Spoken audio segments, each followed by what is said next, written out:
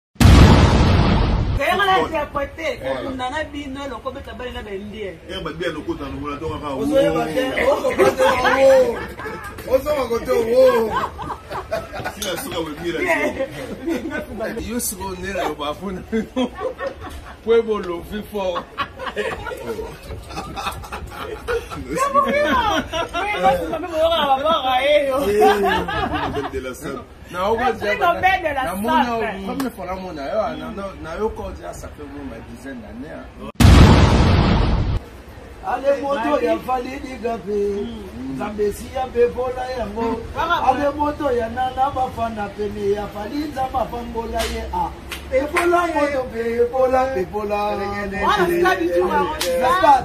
ale moto ya jojo ngonda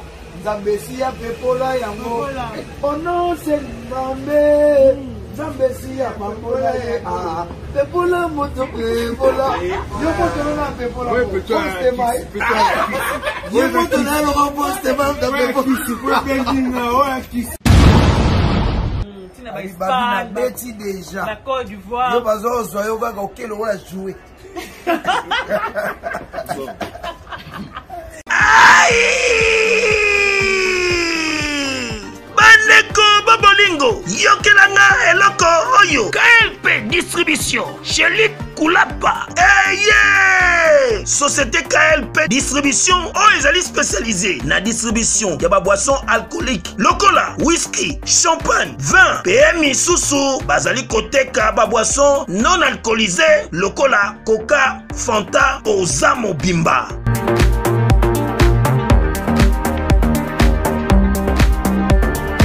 ezwami awa na l'île de france oyo bazali kosala distribution partout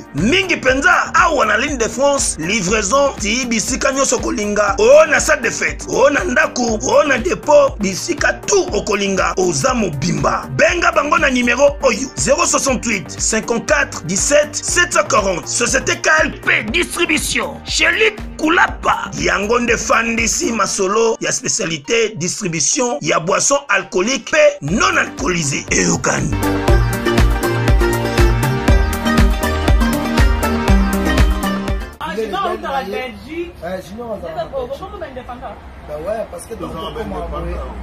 ntango tokoma boye mwana mwana mpena ozwi bagage na yo na bato na yo to famille première akote oyo donc nde toyebo tokoloba te tokoleka mpe émission ya bato te mpo toleka na émission na yo kozala lokola gloria olangi boye donc bonosi mambe balobi toboyi bato to okobetaki na belgique ndenge nini okobetaki na lausanne ndenge nini okobetaki na francfort ndenge nini ekomake bakomotinda biso na makasi toloba po ekoma ba problème tokoloba te bazela bamona ba ba image batatu ni bamamu bakukasayi ndino elomoyi mu jina ja yesu kristo bampangi na munu bampangi na betu ya grand bandundu ya bakongo bampangi na mui nyonso ke wango na ndinga kikongo banduku bapenzi jambo yenyu kwa jina la bwana yesu bandeko bana kinshasa bana ya bisika nyonso bana ya république démocratique du congo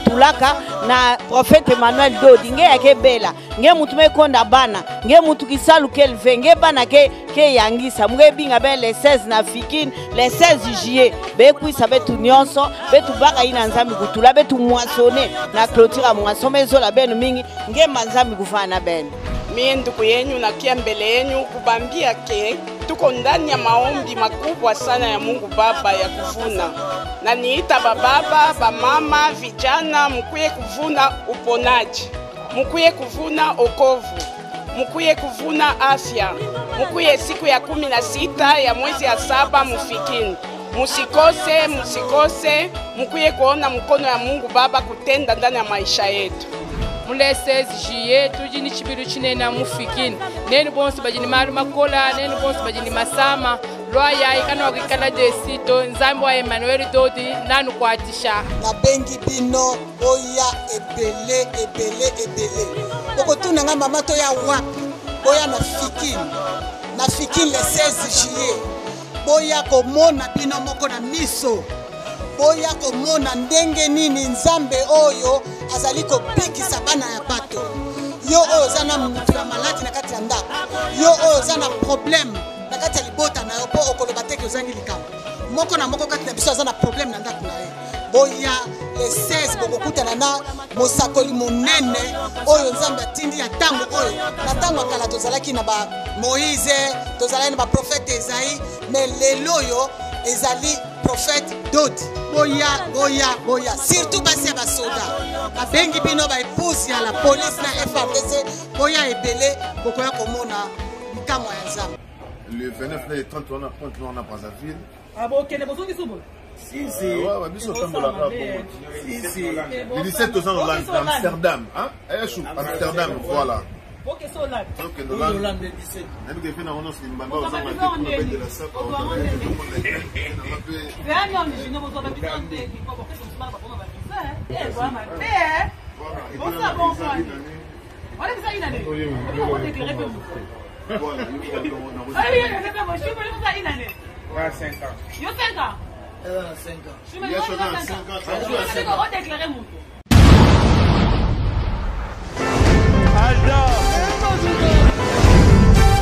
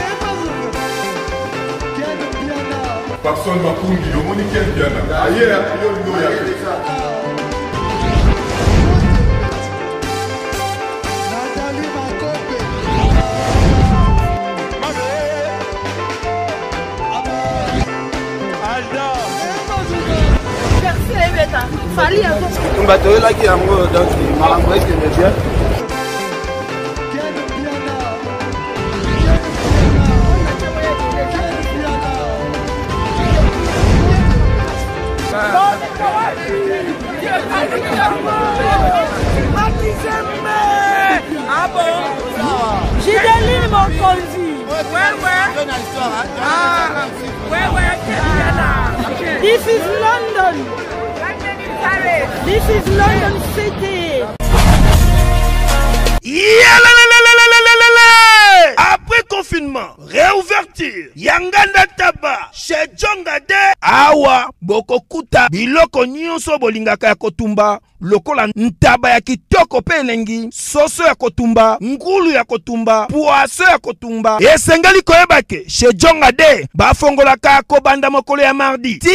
dimanche awa nde esika ambiance ezali kolala adrese eza kaka se moko chez jonga de weekend boza deja ya kosepela chaque vendredi bobanda kozwa suzuki luzubu 4x4 ye nde moto akosepelisa bino na ndenge ya kosakana te oza kolia oza komela oza kobina mpe chaque samedi ekobanda kozala nde cnn alligator na baartiste mosusu bakobanda kosepelisa bino na makinu ya defwa te na bakunga ya kosakana te epuis chaque dimanche sombele suka ya bisanga nde bokozwa le grand chanteur emeli alias de mingongo Ye nde moto akolanda kopalola awa boko sentir betue bao difference yena. Malolo. Oui frère, Babi Tchonga.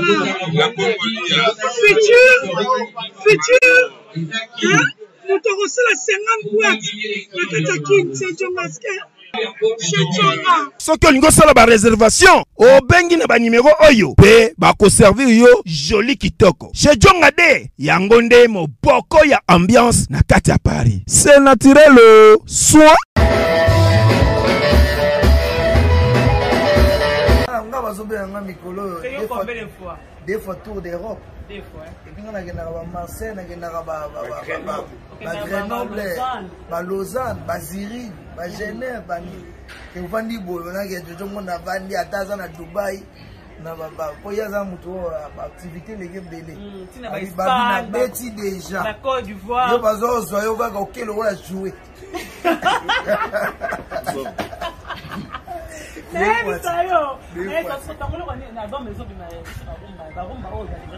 wesi bagenere ezali na kosenga merci ya trop na fali kupa el maranoche the king donc sadi boss na biso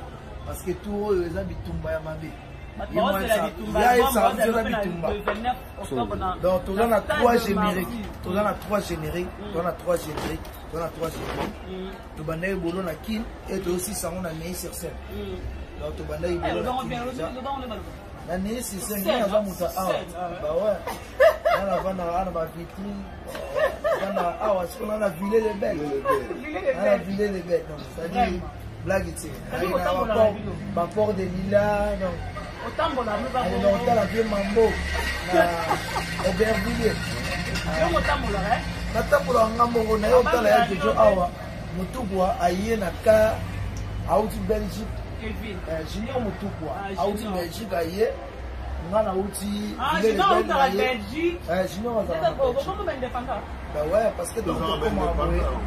ntango tokomaka boye mwana mwana mpena ozwi bagage na yo na bato na yo to famille to mare akote oyo bendani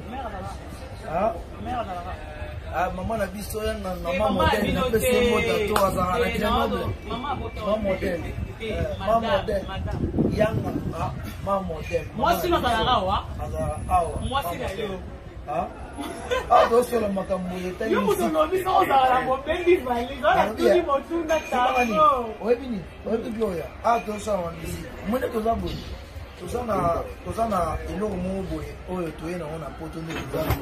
bazobenga yango eh, garde votre souffle bazo garde votre souffle donc nde toye boye tokoloba te tokoleka mpe émission ya bato te mpo toleka na émission na yo kozala lokola gloria olangi boye donc bonosi mambe balobi baye toujours ngonda balobi apres toleki parce que bangi mpo balobi garde votre souffle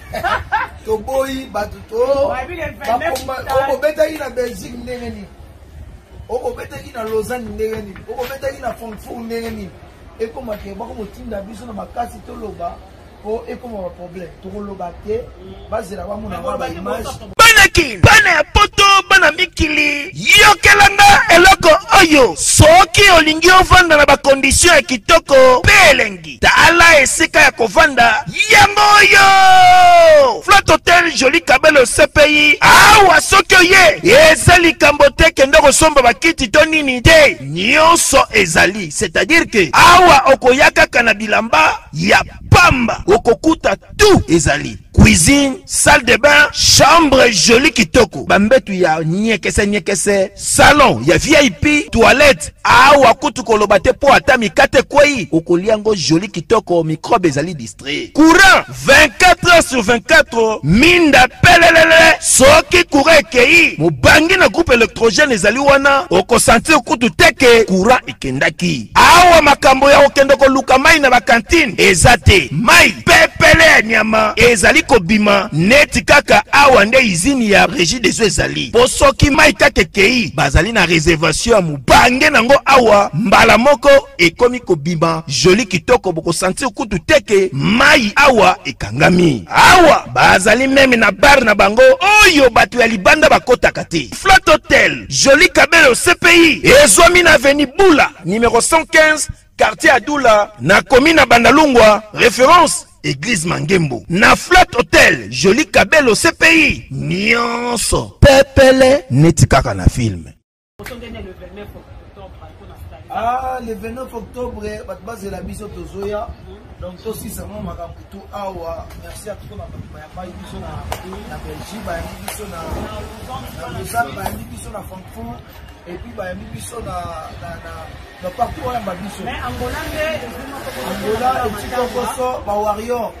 bolimbisa ya trop parce que eza faute na biso te eza faute ya makambo ekomi donc euh, nzambe ye moko ayebi mais date wana eza kale ekobima kala mingi te awa toya kosala bango plaisir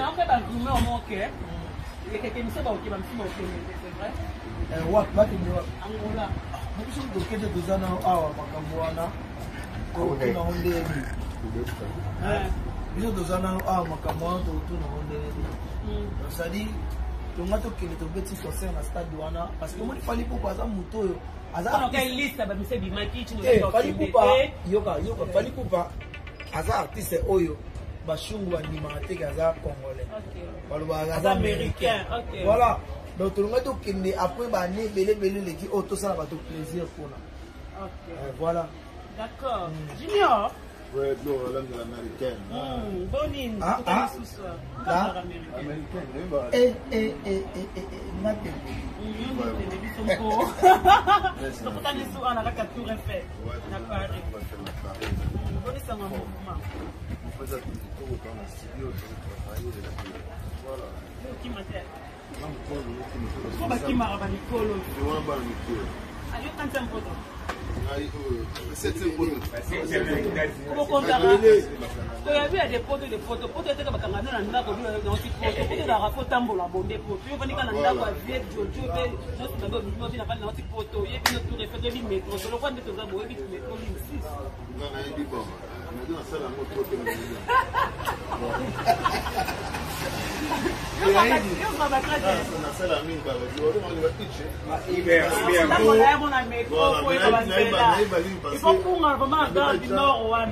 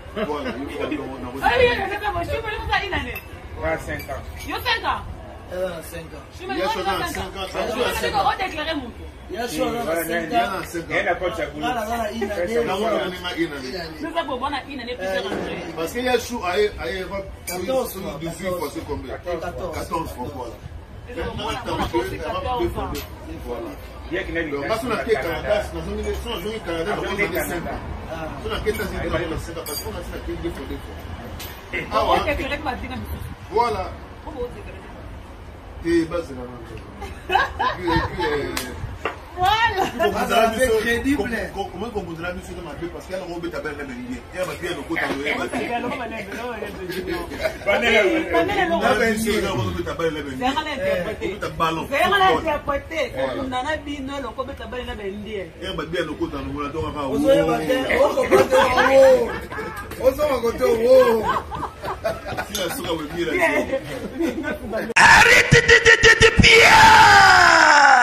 yokelanga eloko oyo restaurant business class vip bruxelles yeah, yeah! restaurant business class vip yeah, yeah! oyo ezali na bacuisine specialise na ndenge ya mukie te lokola cuisine specialise congolaise pe africaine awa soki okoti biloko tu ya mboka okolia ngo joli kitoko o makayabu kwanga mbinzo ndakala okolia ngo joli kitoko awa bilubu tu elambamaka awa bongo biloko ya kotumba lokola soso ntaba mbisi Awa etumbamaka jolie kitoko na niveau ya kosakana te olie oza mobimba na restaurant business class vip na bruxelles bazali mpe na mobange na salle oyo baorganisaka baaktivite ya ndenge na ndenge lokola basoire baanniversaire mariage conference mpe baaktivite mosusu ekoki kosalema awa ozotuna ngai soki ezali wapi Restaurant Business Class VIP na Bruxelles ezwami na adresse oyo 39 boulevard Jubilé Bruxelles 1080 Metro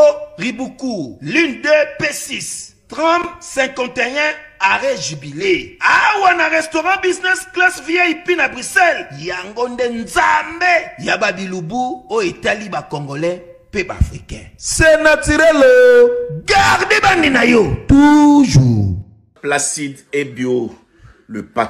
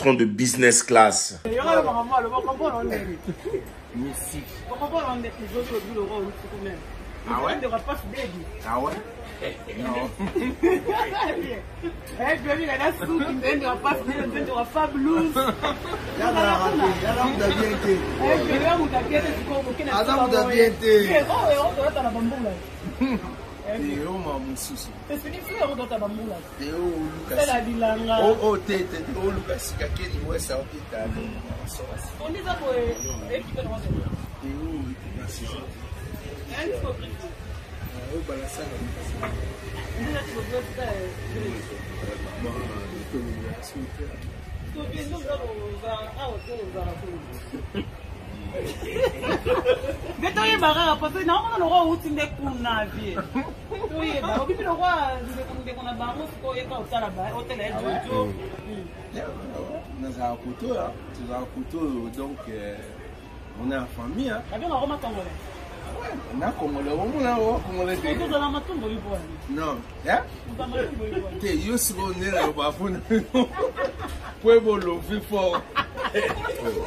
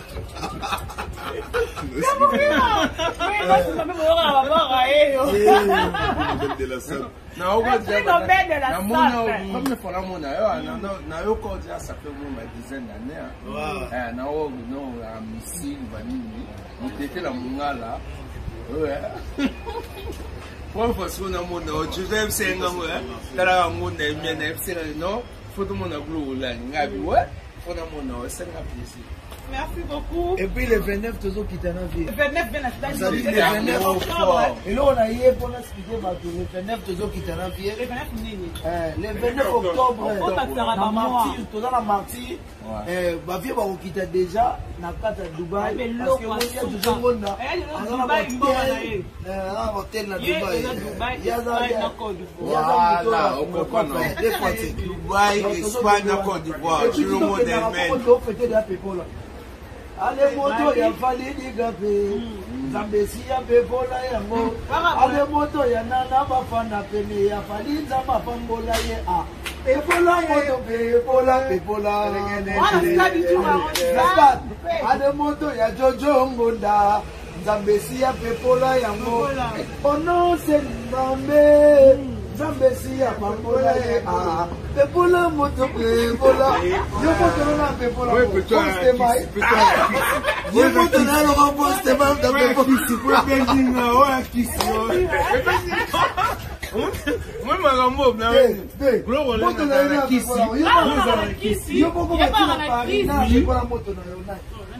moto na wana bikolo nzambe